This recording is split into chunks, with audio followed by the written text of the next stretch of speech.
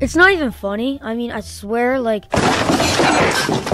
all these people who have been emailing car companies, like, bro, that, that was my dream car right there, guys. Not my dream car, but it was the car I drove the most in my inventory. If you guys have ever seen me in game, you probably saw me probably driving this freaking Pagani, bro. And of course, it got removed, like every other car in existence in Driving Empire. Hey guys, I've come to tell you that I don't even fit in here. Bro, what is going on in Driving Empire right now? Guys, drive, bro. Pagani's got removed from Driving Empire, just like every other car will, except probably freaking McLaren and Porsche.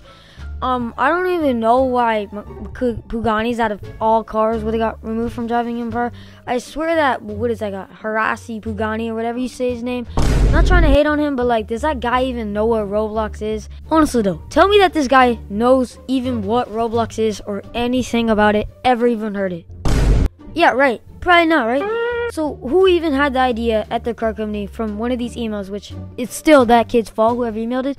If you're one of the ones who emailed them and they did respond to you, uh, you have no life. You're gonna never have anything else. I'm sorry. Um, honestly though, like come on man, like it's Pagani, bro. They're like these players on your game are your future buyers. I mean, it might be a little bit excessive, but out of these how many players even play this game? One might buy your car when they're older, but now they won't because when they were how old in this game, you removed it from the only game they love and beloved.